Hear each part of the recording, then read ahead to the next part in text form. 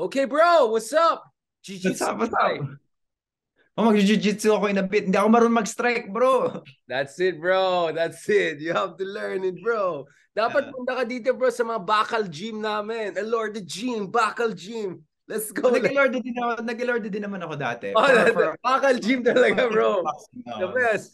The best mga yan. Let's go, bro. So, pag-usapan natin ang jiu-jitsu in Philippine politics, right? Were you surprised by like this escalating fallout? So, of course, it started with the demotion of former senior senior deputy speaker to another one of the dozen deputy speaker and then Sire coming out and saying resign resign. I don't like political toxicity. Tapos and, ano don't be tam- don't be tambaloslos. Oh I thought tapos na. And then biglang next thing you know Sarah erasure kay Romualdez na wala siyang roll down doon sa Unity when in fact andun the records na he, she thank him and all of that. So parang tawa ko na tawa ko na tawa sa isa pang yung isa pa niyang line yung ano yung ay ah, Ferdinand pero ayoko sabihin yung middle name niya. Oh, yung Romualdez. Yeah. Grabe, no? Like are you Okay, as a historian, is this a new level of Bardagulan like Kasi parang it's too early, right? Wala pang first year. Kasi of course we saw Bardagulan during Duterte when Alvarez was, you know, the Powerpuff Girls and all they oversaw Alvarez, you know, uh being eased out 2018, right? But this is like wala pang first year ni tapos yung first year ni Junior. Ganun na.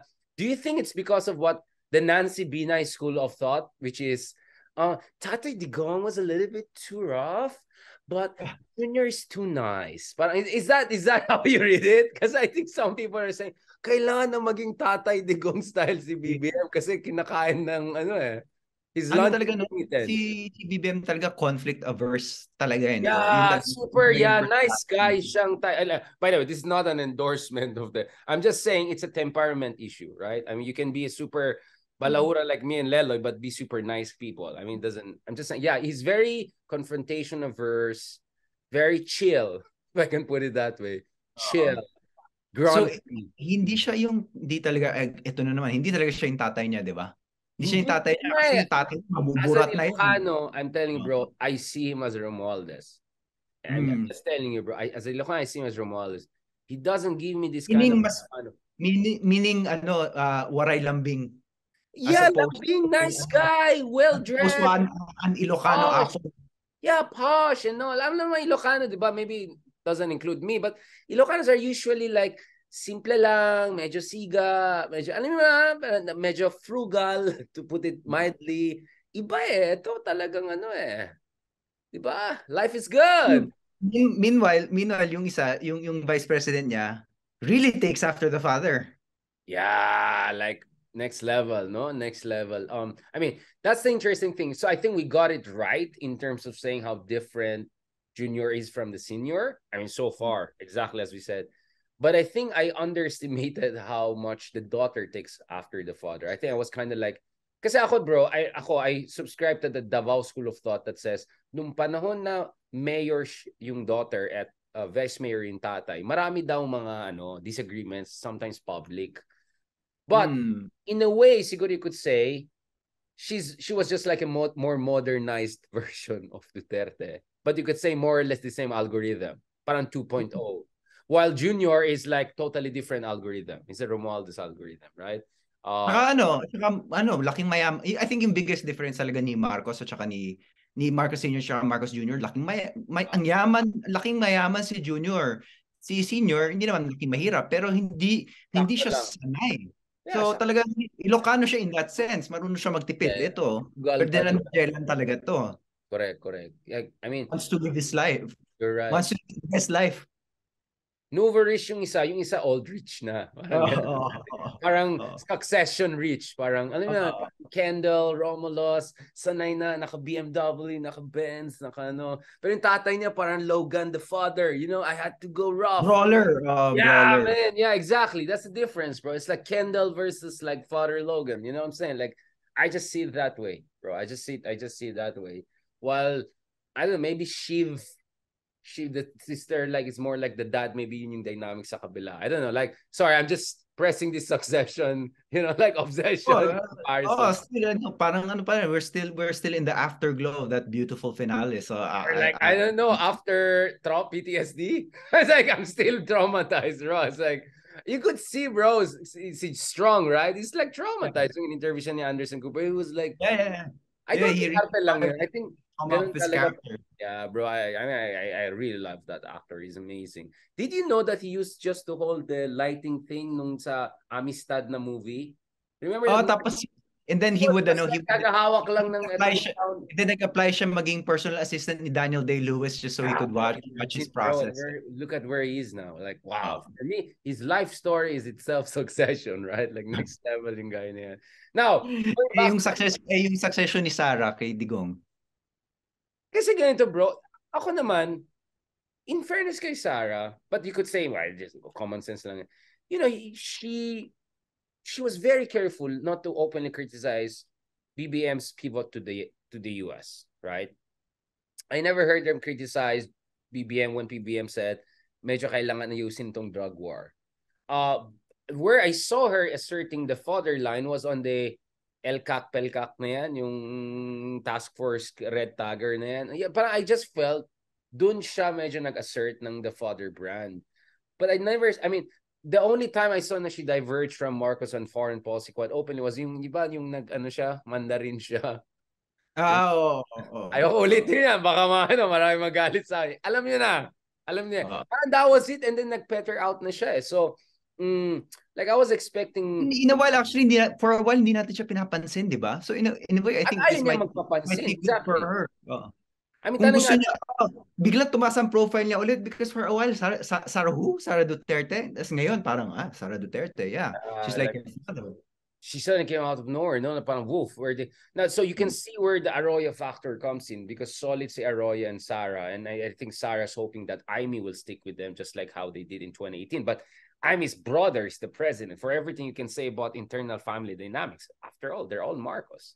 In fact, I and, remember And hindi lang brother, Amy's brother is the president and Amy is also first cousins with the Speaker of the House, right? So Oh, with, yeah, also, Martin. yeah, exactly. Yeah, yeah Romualdez, yeah, right? like I'm like a relationship with Martin Romualdez. Exactly, and Martin is a cool guy. I mean, again, I'm not endorsing their politics, but actually, for anyone who knows Martin, he's the cool guy, Cornell, you know, well-educated guy, smooth guy.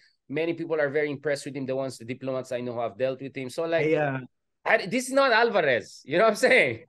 I, was, I was, I, Alvarez may, talaga eh. May trivia ako kay, may trivia ako kay Martin Romualdez. So, yeah. um, I was just, I was just, I, I just read a letter written by one of his professors in in Cornell. In Cornell.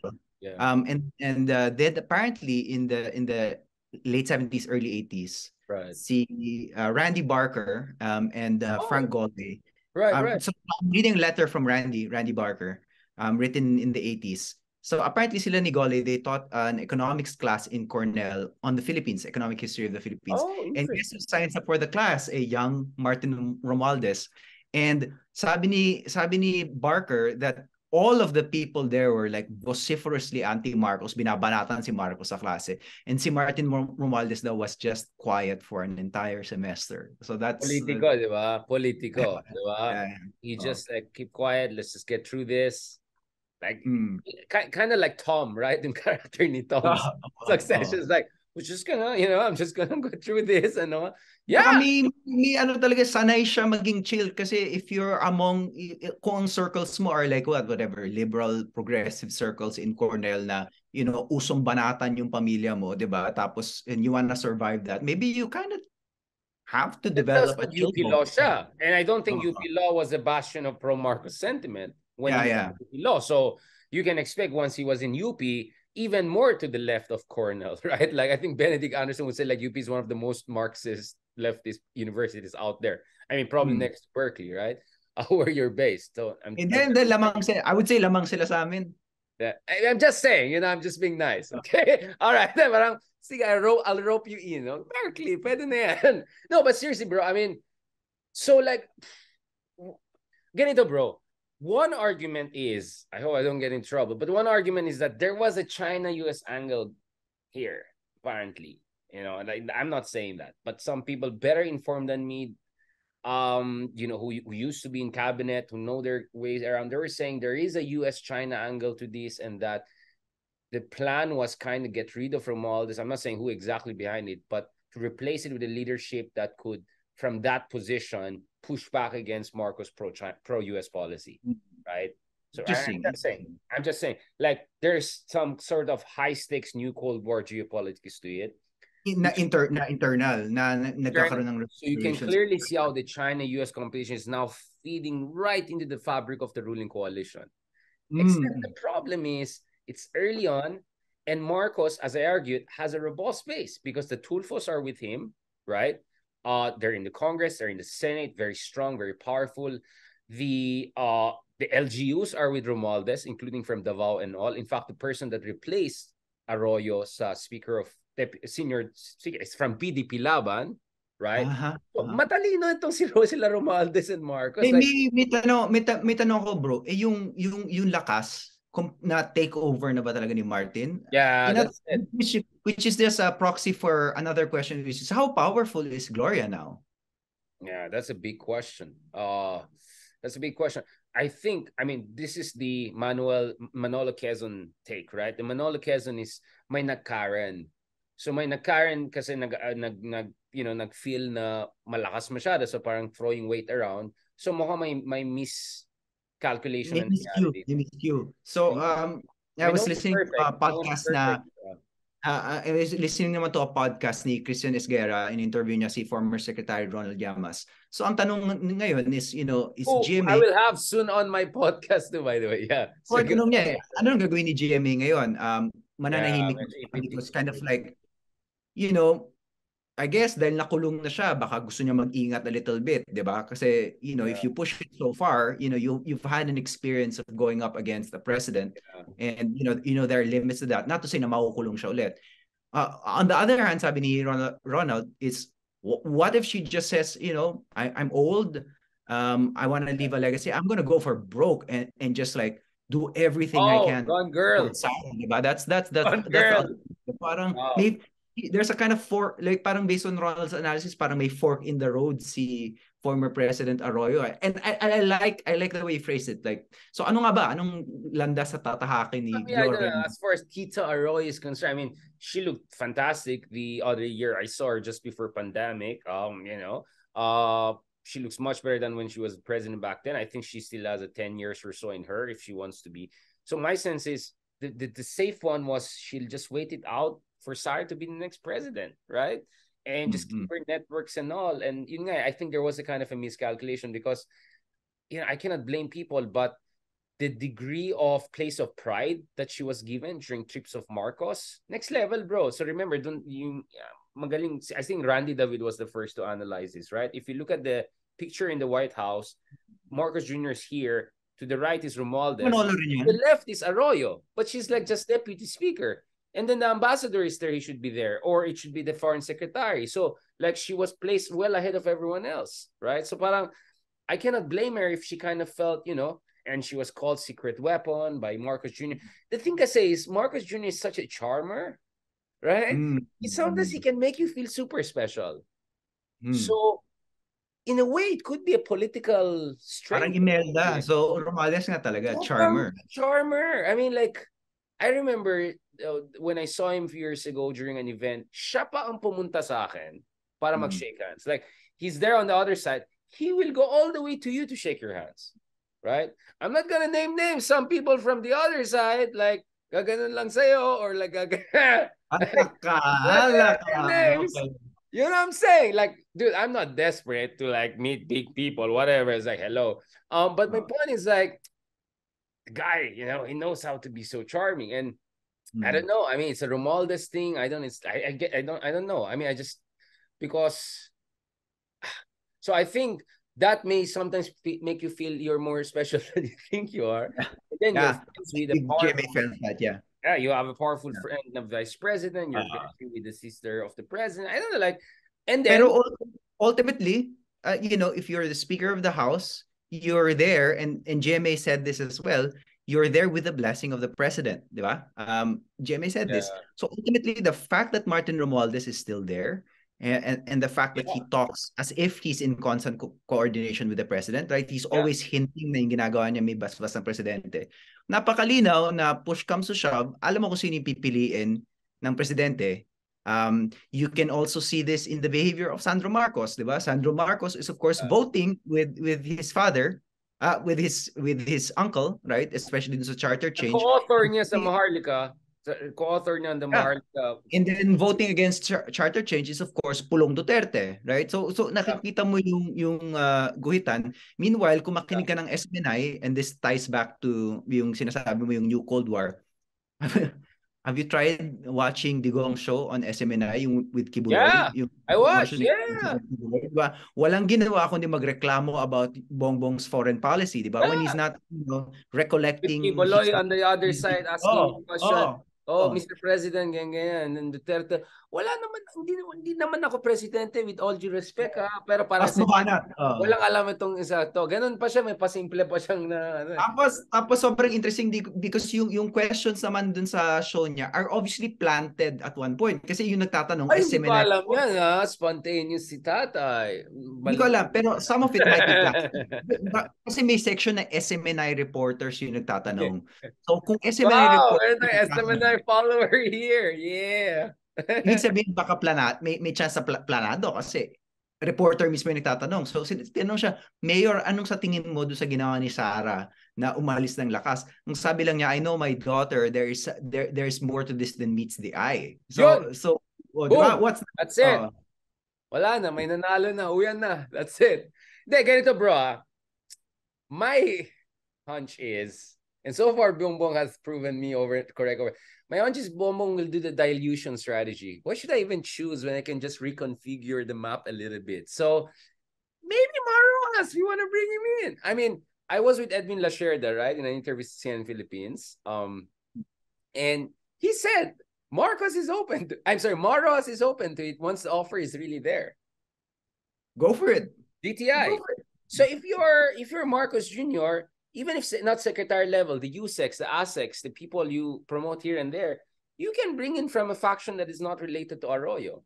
Uh, because yun nga, di ba, ang problema ni BBM is slightly similar to Duterte, which is he didn't have his own team once he was in power. His team mm. was Vic Rodriguez, right? Like, and that's it. It's and over. Another, and really first.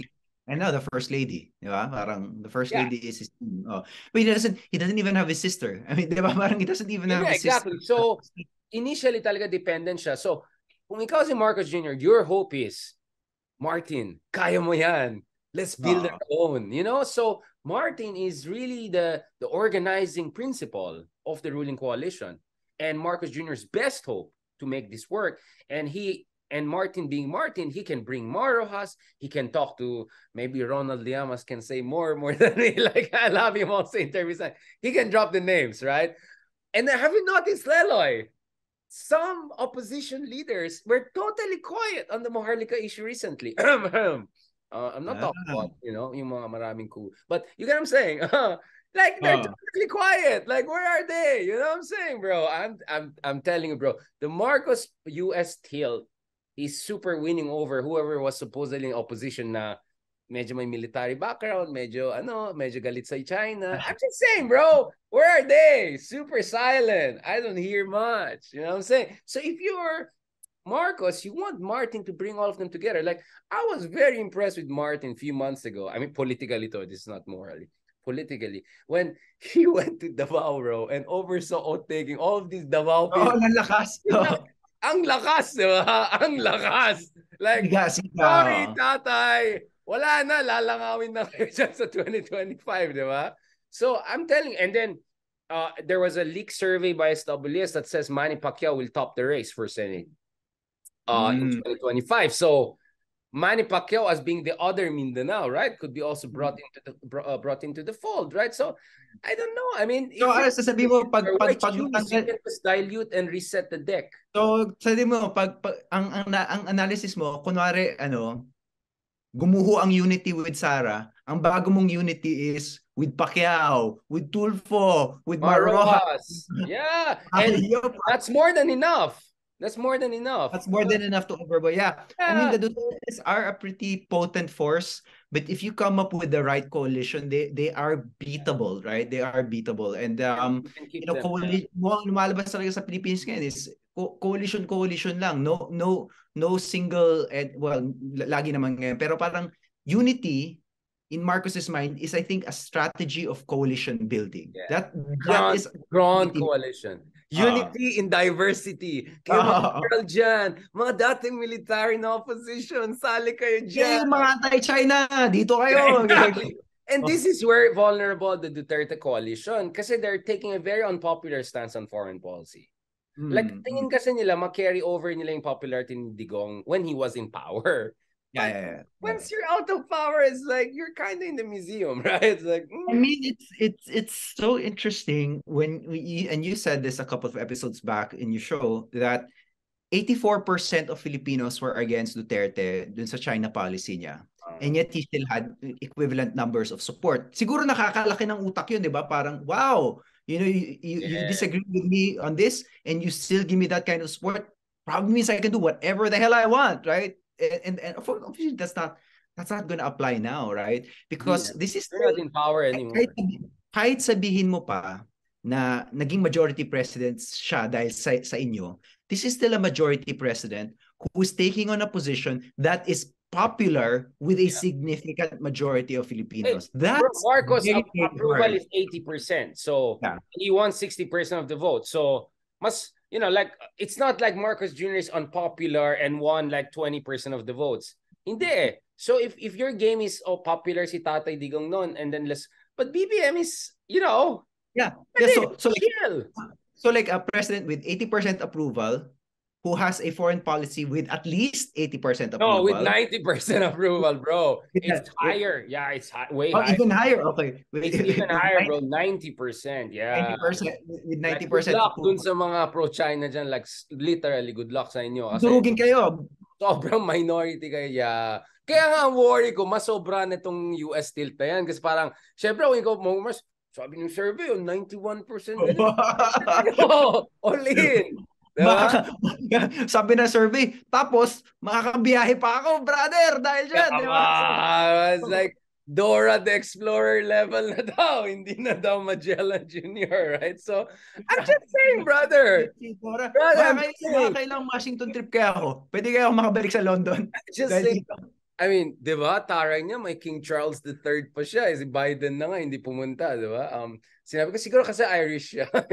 si Biden, Irish siya sa akin sa English. Oh, but bro, seriously bro, don't underestimate the Marcos coalition because ang dami pang nag-apply dun sa entrance. Oh, so I'm, I don't need to name names. Just look at the people are suddenly quiet and used to be super anti-Marcos last year elections. I'm just saying. Malaki ito. So I don't think he wants to kick out Arroyo or ano. He's gonna keep them, but you know, a little bit of resetting of the deck. Hey, ikaw pasok ka dito. Ay, ikaw nandito. But Martin should be there. Kasi yun nga eh. And then sa Senate naman, Rafi Tulfo is the guy. He's the man. The idol. No problem with Marcos. In fact, consultative pa yung dalawa na yan. Ayaw ko dyan sa China sa NGCP. Oh, nakinig si Marcos, tignan natin yan, di ba? Like, mm. And then Tulfo is on the right side of history, on the China question, on the land grabbing issues, and like, he's right, he's raising all the right questions. So, tsaka, tsaka alam, marunong siyang bumanat eh. Kunwari, babanat sa drug war. Yeah, Hindi na babanat si Duterte. Si Bato ang babanatan, ganyan, di ba? Ah, uh, tapos tapos tapos kung may babanatan siya na other people sa Senado, hindi yung mga sobrang sikat, yung mga tao na parang alam mo naman may problema, babanatan niya si Cynthia Villar over housing.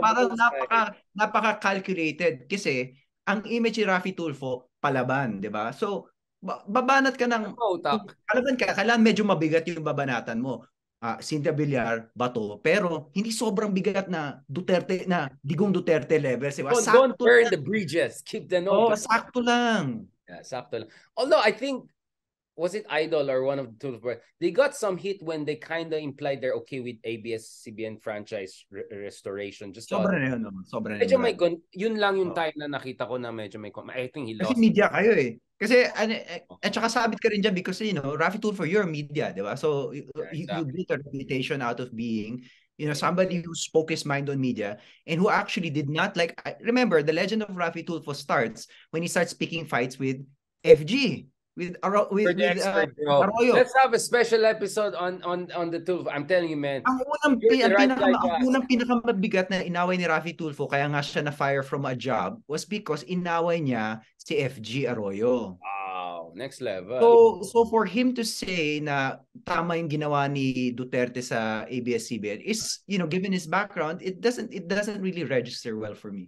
Mm, mm. No, no, I, I just said on the ABS-CBN, he was implying that okay siya with the franchise. Mm-hmm. I mean, no, mali yun, mali, mali. And then biglang, anyway, um, how should I, my, my point is, and the room for maneuver is huge for Marcos Jr. He just needs to be a little bit north of chill, but definitely south of Tatay style strongman. Do you get what I'm saying? If he keeps that zone, I think he can he can get it across the line and finish on a strong note that makes things easier for the next generation. Sa tingin mo ba, brother, do kailangan niya ng shock troops at this point? Si Marcos Jr. May uh, mga, mga, tira, mga talagang tirador, mga operators. May internal reorganization. Si Paul Soriano yung nag-reorganize. So one of the things they're doing is, di ba meron na silang version ng Abante? Mm. Like, Malacanang Abante. Something like that. Yung parang, eh, medyo tabloidish, si Pangulong Marcos nandyan sa bukid, tumulong sa magsasaka, yung mga ganun. So, I think Paul Soriano is still going through some rebooting and all. But Paul is also a nice guy, right? That's my point there. Anyway, when I say nice guy, I'm talking about temperament. It's not, you know, a moral uh, statement. Baka mm-hmm. mag-bash na naman ako dyan.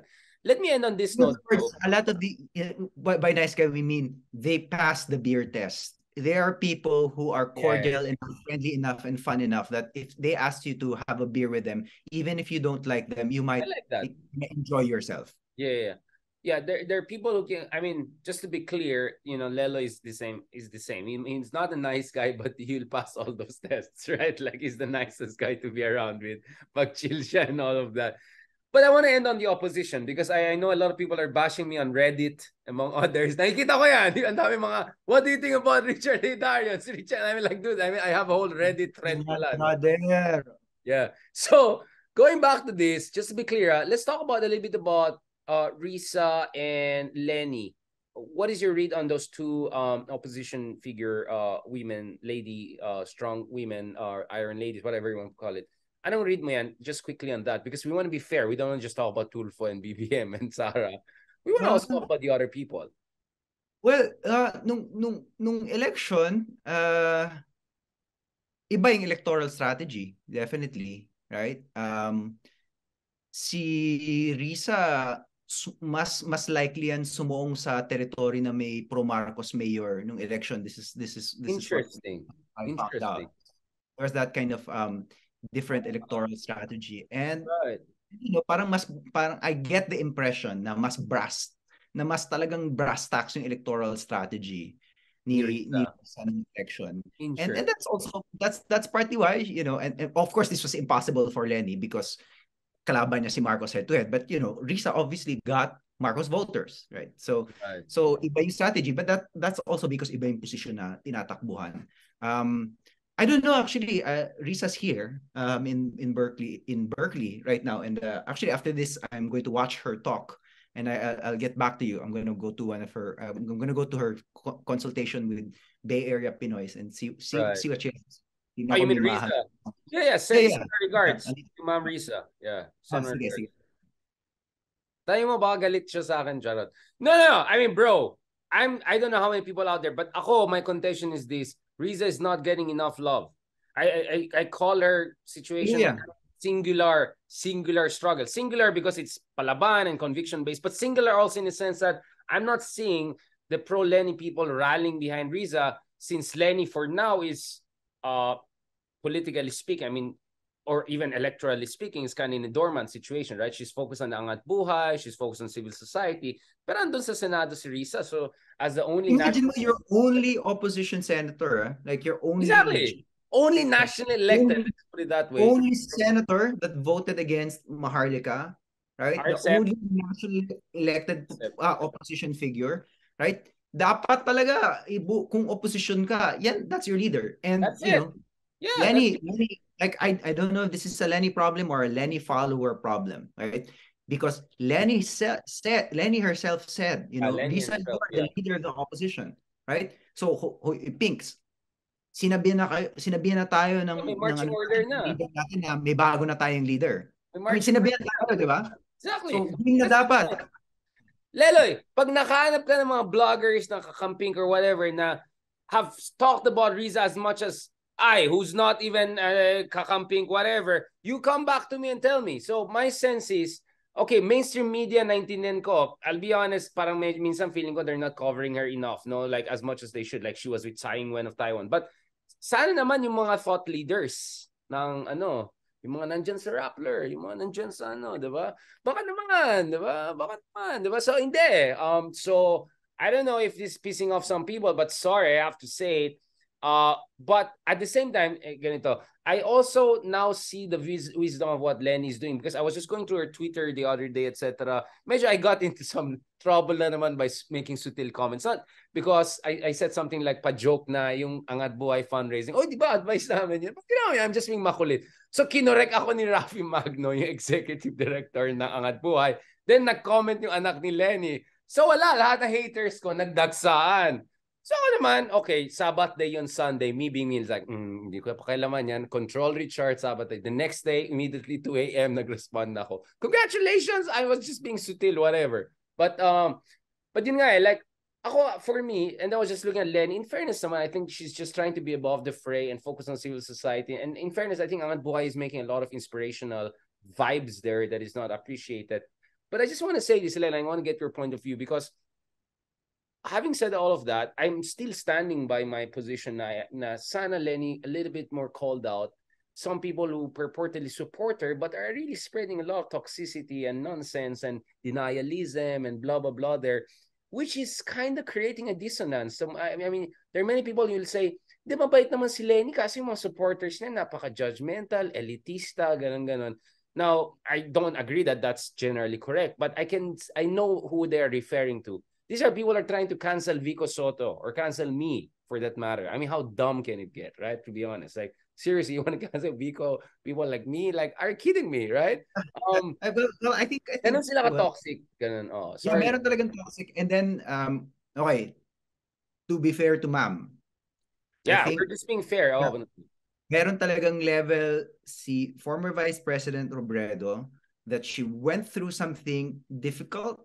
She went through it despite not actually wanting to go through it because totoo naman w- Yes. when, when she declared her candidacy late, it wasn't because nagpapabebe siya. Ayaw talaga niya, 'di ba? Napakalinaw 'yan. Um ang daming daming gusto na ang daming gusto mag, mag mag-declare si Lenny for president 2016 pa lang, 'di ba? Parang ayaw talaga niya tumakbo for president. So she did something she didn't want to do and because of that she attracted all of these supporters and there there is a sense that gusto niya magpahinga. She wants to chill out and so if we are going to demand that she kind of like namandohan pa niya itong pink Yeah, movement. that's the term they use, the demand. Eh. Yeah, demanding daw. Mandohan, Demanding daw. mandohan, parang I guess from her perspective it's like ano pa bang gusto niyong ibigay ko, 'di ba? Kasi ang dami na niyang binigay. Yeah, so that's that's I think that's I think being fair to to to the former vice president. On the other hand, I mean, yeah, you're preaching to the choir here. Um uh, it's so hard to deal with the kind of belief that is so that is so solid that it it it it it does not allow for any kind of cognitive dissonance, right? Napaka napakalinaw dapat ng narrative na Ano, bastos, bro. I mean, what's the name of that guy? Tarantadong kalbo na yan, yung cartoonist. Tawagin pa naman akong epal. Like, dude, I mean, have some respect. You can be a little bit, I mean, if we can have disagreement, know, I'm not gonna call you Apple or something like that. But I had to call him back. Like, you're the original Apple by making cameo of me and all that. So, like, ang bastos, bro. Like, what are they trying to achieve? You by by dropping words like that. I- you know, I mean, I, I'm being kind, right? Uh, I could have said many things, but I'm just being kind here. I don't know. I mean, I understand the Lenny position, but it's just that she happens to be the most prominent opposition leader, even if Reza is there. So, mm, I don't know, sometimes I hope medyo sana may effort na ganon. If not openly, but, you know, behind Okay. the scenes, sabihan Okay bro, kung, Ayos, kung tumakbo yung kung tumakbo yung senador, we should really demand na dapat mandohan yung mga followers a bit more. Yeah, Because this time talaga, bro. Grabe ang toxic ng iba, bro. Lalo yung mga anonymous account pa ng iba dyan. Lang. Hmm. I, I don't know, bro. Buti nga, I'm very patient guy, no? Kasi, pansin ko, bro, yung ibang tao, inattack lang sila ng supporter ng ganitong politiko. automatically doon na sila sa kabila. Unfortunately, oh, eh. like that. But ako naman, you know naman, I'm sport eh. Like, I'm not gonna take it against Lenny for supporters attack me, but I'm gonna say, Lenny, maybe you want to call out these people because there are a lot of other people who are being pushed to the other side. Ah, mga yan, dilawan, elitista, ganun.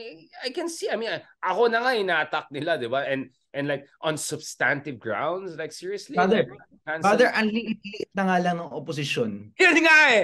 Tapos, konti na nga lang may paki sa kanila na katulad natin na may platform. I don't want to be mayabang, but like, how many people with my kind of platform and voice are even bothering to fall? And then gaganin niyo ako. Ibang klase talaga itong mga to. But see, I'm sport. I didn't take it against Lenny. But guess what? Someone else, they'll take it against Lenny because saan ka call out these people? But yun nga, it, this is the tragedy of this is the predicament, not maybe trap, but predicament that we're facing here. But let's end on a more positive note, bro. Um, I think we have come a long way since last year when we started this podcast. No, I think we were kind of in a much more painful, tortured situation back then.